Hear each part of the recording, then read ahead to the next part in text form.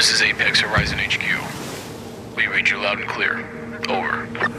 This is Apex Horizon HQ. We're reading that pre-combat checks are complete. Helmet cam is operational. Submersible mode is ready. AR device is active. All systems look to be nominal. We are ready to launch.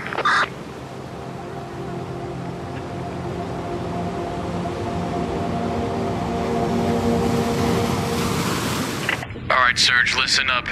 The situation is 24 hours ago we lost contact with Magnus Underwater City. That's right. The greatest technological achievement of the 21st century. Built with trillions of dollars, housing the best minds from around the world and using cutting edge technology just went dark. Magnus was established by the combined effort of several nations, so Magnus was established by the combined effort of several nations, so this is high on the priority list. The installation layout's pretty straightforward. It's divided into two separate zones. The public zone, that houses over 4,000 guests and visitors, and the very restricted military research zone, where only a limited amount of scientists and military and other personnel can access. This is one of the most classified installations in existence. Magnus has been redefining the limits of underwater exploration, biological engineering, and weapons research. Therefore, we cannot afford to lose signal with this facility. With all of that being said, welcome to Magna City.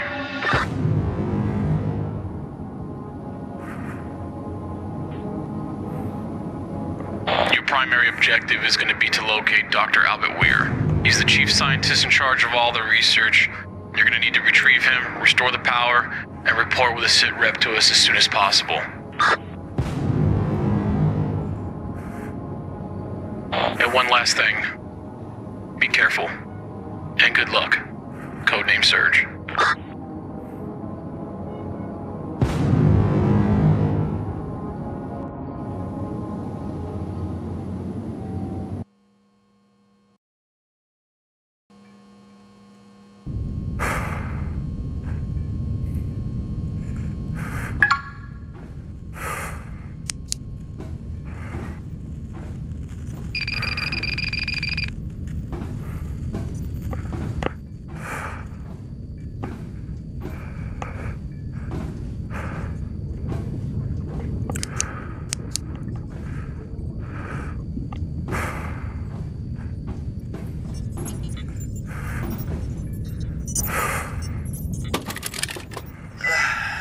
Knives package on your desk, guys.